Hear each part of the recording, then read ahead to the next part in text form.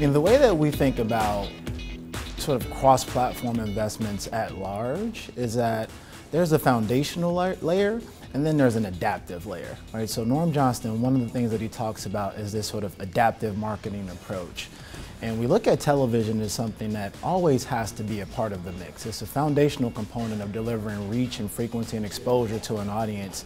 But then the way that we think about the world today is very adaptive. People change their behaviors, they're moving, they're consuming content in different ways, and that's what digital allows you to do, right? So you to be able to use data and move at the speed of culture. So that's a big part of what we're looking to do and, and how we think about this sort of evolving mix of both traditional formats as well as digital formats. There was a gentleman yesterday from A&E who made a really good point, and he was asked, do you think about programmatic as a way towards efficiency?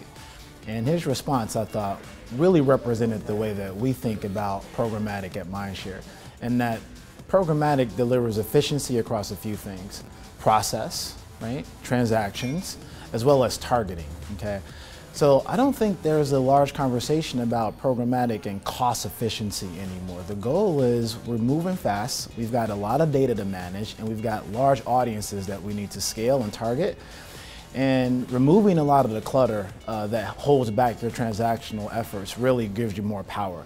So we've looked at programmatic as a way to both attach premium inventory, open exchange inventory, and the like, but the core focus is really trying to make us much more efficient in how we target our audiences and deliver value for our clients.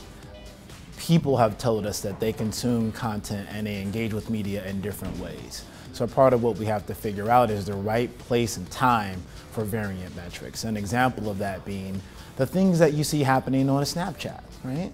Is that a reach play? Is that a frequency play? We're not sure, but we know one thing's for certain and that's that when people are involved in that type of environment, they're very engaged, right? So thinking about how you use complementary metrics to really give you value. But in our session yesterday about making sense of measurement, what we talked about was starting with an endpoint, which is what are the business outcomes you want to achieve? And I think that kind of gives you a North Star to how you want to balance your metrics.